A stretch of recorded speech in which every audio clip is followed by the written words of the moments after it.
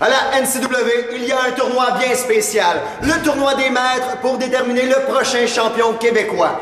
À mes côtés, Pee-Wee, qui a déjà défait Marvelous Jeff durant la première ronde, et durant la deuxième ronde devra affronter Jay Phenomenon. Tes impressions sur Jay Phenomenon que tu as déjà affronté à Québec?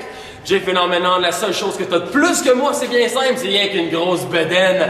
Depuis l'été passé, à Québec, à Montréal, en Ontario, moi pis Jay Phenomenon, on croise le fer dans les rings un peu partout dans au Canada. Mais là, pour ce qui est du tournoi des maîtres, il va y avoir juste un gagnant. Il y en a qu'un qui va se rendre à la grande finale pour remporter le championnat québécois et je vais devoir passer par Jay Phenomenon. C'est bien simple. Au prochain gala, je vais être là. Jay, t'es mieux d'être prêt. T'es mieux d'en faire du tapis roulant si tu veux. À côté, mon talent, mon cardio et mon sourire, mon charisme. Toi, qu'est-ce que t'as? T'as rien! T'as rien!